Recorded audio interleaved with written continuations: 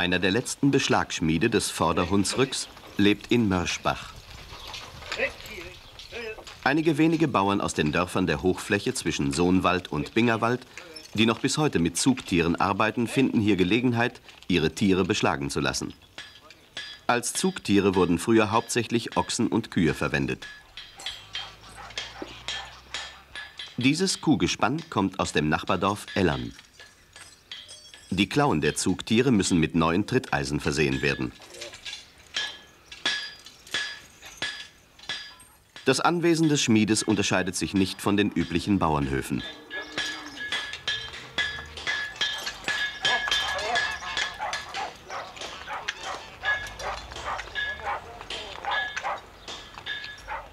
Die von der Straße aus direkt zugängliche Werkstatt ist in einem kleinen Anbau neben der Scheune untergebracht.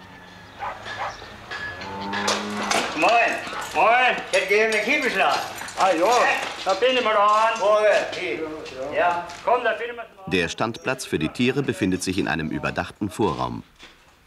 Hier war früher auch der sogenannte Notstand, ein Gestell, in das man ungefügige Tiere, vor allem Ochsen, zum Aufschlagen der Eisen einsperren konnte. Eingefahrene Kühe brauchen nur mit der Halskette angebunden zu werden. Um Verletzungen zu verhindern, nimmt man die Zugjoche von der Stirn weg. Vor Beginn seiner Arbeit sieht sich der Schmied die Klauen der Tiere an.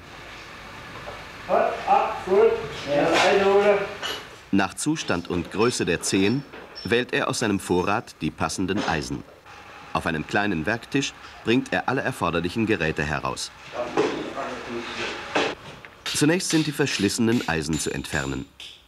Dieses sitzt noch sehr fest in den Nägeln, die mit Stahlklinge und Hammer durchgeschlagen werden. Jetzt lässt sich das alte Tritteisen mit der Beißzange herunterziehen, wobei vorne die Verklammerung aufgebogen und gelöst wird.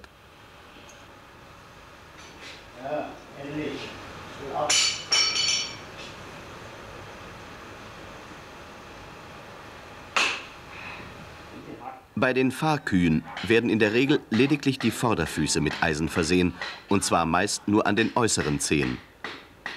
Die Außenklaue wird jetzt mit der Hauklinge für das neue Eisen zugerichtet. Das nachgewachsene Horn muss sorgfältig entfernt werden. Es bleibt so viel stehen, dass die Nägel nicht ins Leben, das heißt in den Fuß eindringen können. Die Schnittfläche wird anschließend mit dem gebogenen Hufmesser sauber ausgeputzt.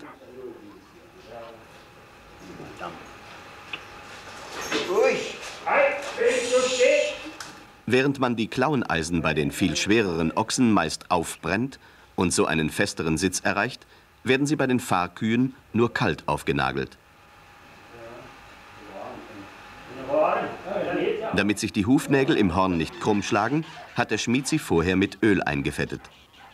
Früher stach man sie vor dem Einschlagen in den eigens hierfür aufbewahrten Schweinenabel.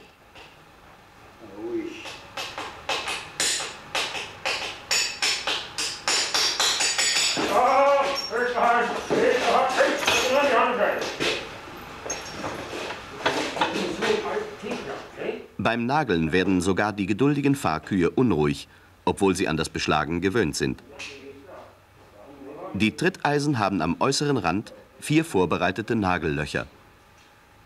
Die kantigen Nägel müssen so eingetrieben werden, dass sie schräg durch die Hornschicht dringen und seitlich heraustreten.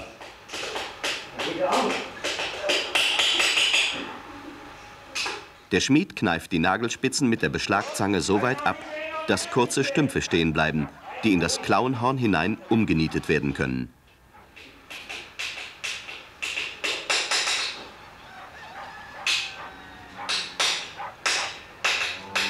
Je fester sich die Nagelenden einkrallen, umso unverrückbarer sitzt das Eisen.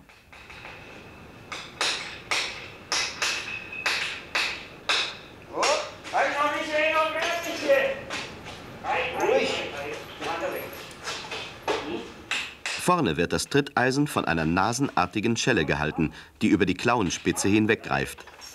Sie kann nur am aufgesetzten Fuß mit dem Hammer umgebogen und festgeklammert werden. Die Schelle muss so eng anschließen, dass zwischen Klaue und Eisen keine Steine eindringen können. Damit ist der linke Vorderfuß fertig beschlagen. In der gleichen Weise wiederholt sich die Arbeit am rechten Fuß.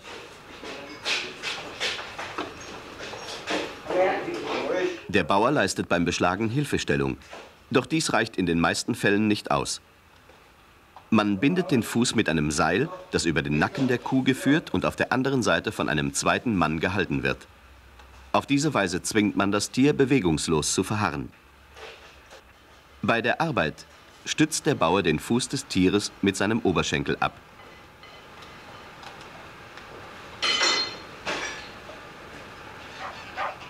Im Herbst, wenn Rübenblätter gefüttert werden, gibt es beim Beschlagen viel Belästigung durch den Kuhmist.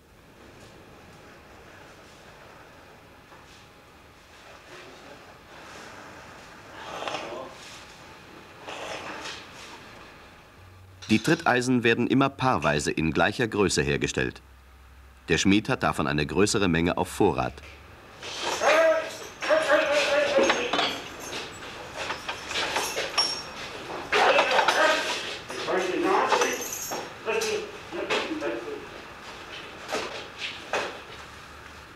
Zugvieh mit weichem Horn an den Klauen, das sich bald abtritt, muss auch an den inneren Zehen beschlagen werden.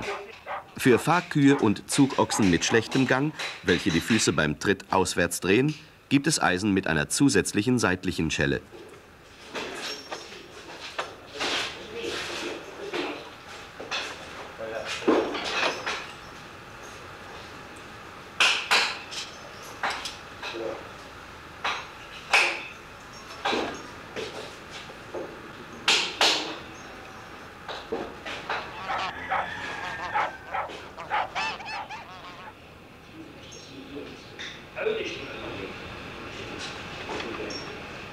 Beschlagschmiede kennen sich meist auch mit den Fußkrankheiten der Tiere aus und wissen die Klauen und Hufe zu pflegen. Hier werden die langgewachsenen Spornklauen, die den Gang behindern können, mit der Klauenzange beschnitten.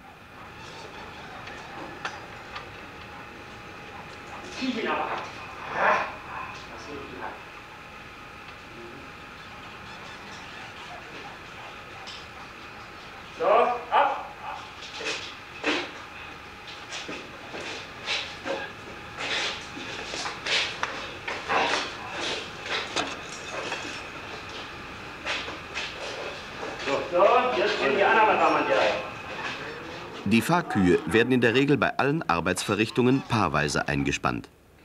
Es gehört viel Erfahrung dazu, zwei Tiere so anzulernen, dass sie einträchtig miteinander im Joch gehen.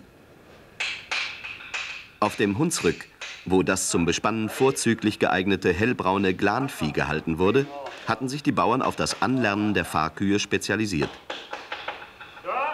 Die zugfesten Tiere, die einen besseren Preis erzielten als Mastvieh, wurden auf vielen rheinischen Viehmärkten gehandelt. Hunsrücker Fahrkühe waren wegen ihrer Genügsamkeit und Ausdauer sehr begehrt. Wegen der Milch, die sie trotz ihrer Arbeitsleistung gaben, wurden sie auf den kleinen und mittleren Bauernhöfen, die sich keine Pferde leisten konnten, lieber gehalten als Zugochsen. Das Zugvieh wird in der Regel zweimal im Jahr beschlagen. Zuerst vor der Haferaussaat im Frühling und dann im Herbst vor Beginn der Feldbestellung.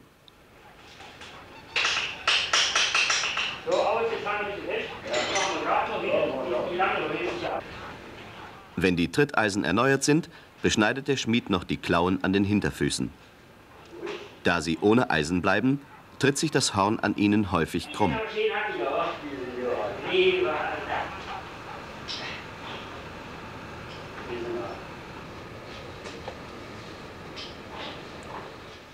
Damit sind die Fahrkühe bis zum nächsten Beschlagen wieder einsatzfähig. Dies hier ist das letzte Kuhgespann in der näheren Umgebung von Mörschbach. Für den über 70 Jahre alten Bauern, der keinen Nachfolger für seinen Hof hat, lohnte sich die Anschaffung eines Traktors nicht mehr. Wenn er seine Landwirtschaft aufgibt, wird man hier keine Kühe mehr sehen können, die vor dem Wagen oder Pflug gehen.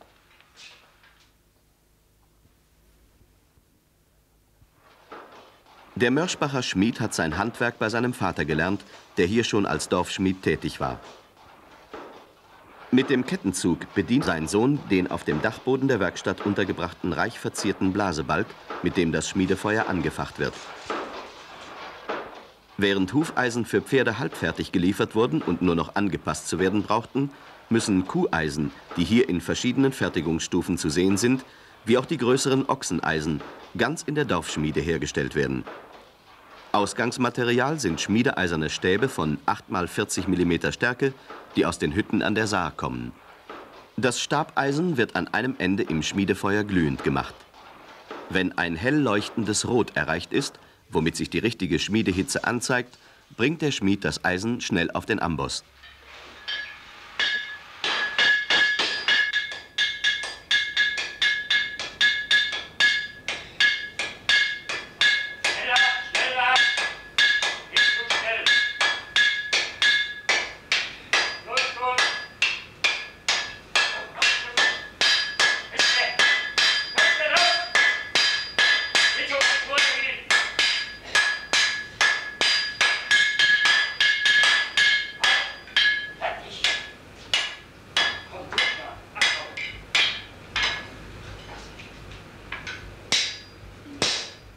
Zur Herstellung der Klaueneisen sind fünf Arbeitsgänge erforderlich, denen jeweils ein Glühen im Schmiedefeuer vorausgeht.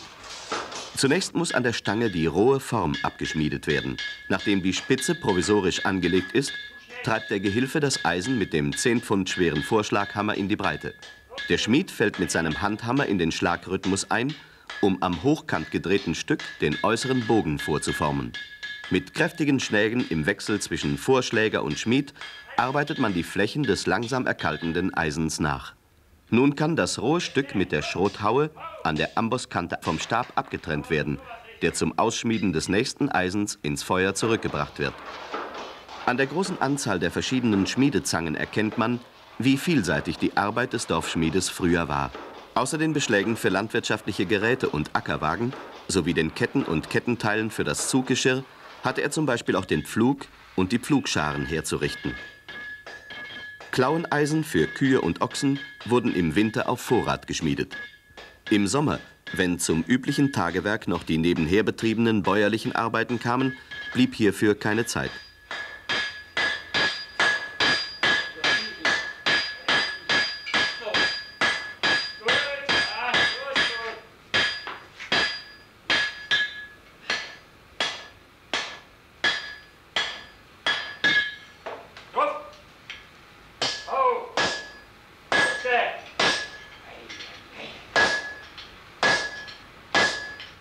Wenn genügend Rohlinge vorbereitet sind, beginnt der Schmied mit dem Ausschmieden der Form. Das ist Feinarbeit, die viel Erfahrung und eine genaue Kenntnis von der Beschaffenheit der Rindviehklauen voraussetzt. Sie wird daher vom Schmied selber ausgeführt.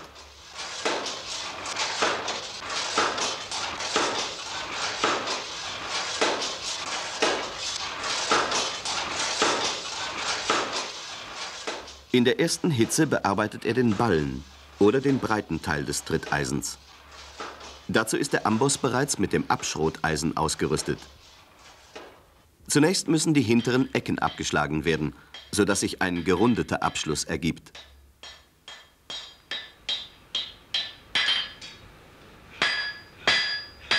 Nachdem die Flächen nochmals von beiden Seiten ausgehämmert sind, wobei die innere eine leichte Krümmung bekommt, vervollkommnet der Schmied die abschließende Rundung.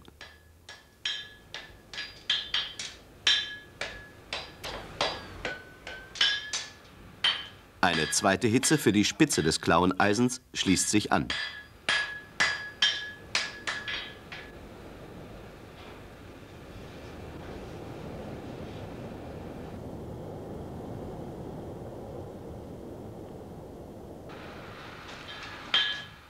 Unter den Hammerschlägen gewinnen die Innen- und Außenfläche im vorderen Teil sowie der Klauenbogen die genauere Form.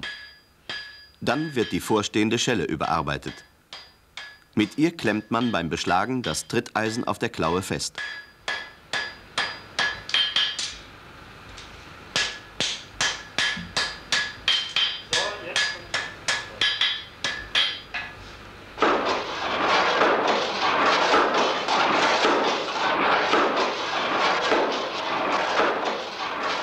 Im nächsten Arbeitsgang, für den das halbfertige Eisen nur rotglühend gemacht wird, legt der Schmied die vier Nagellöcher an die er mit einem Setzhammer vorbereitet.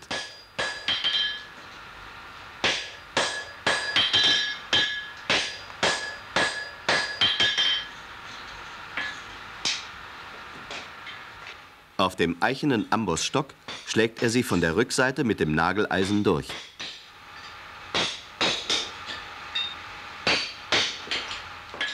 Anschließend werden die aufgestülpten Ränder auf der Ambossplatte sauber beigeschlagen.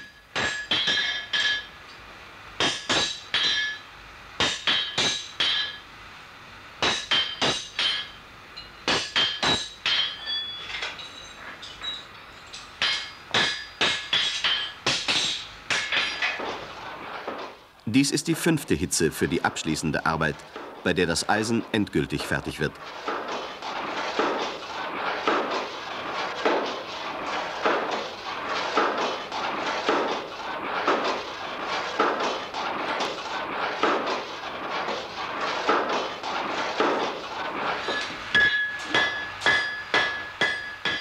Damit sich die Schelle besser an die Klaue anpassen kann, wird sie ausgedünnt und verbreitert. An der Ambosskante in rechtwinklige Stellung gebracht und auf der Rundung des Ambosshorns leicht nach innen gewölbt. Mit den letzten Hammerschlägen in die Krümmung auf der Innenseite des Ballens richtet der Schmied das Kuheisen, das bis zum Beschlagen zum Vorrat gelegt wird.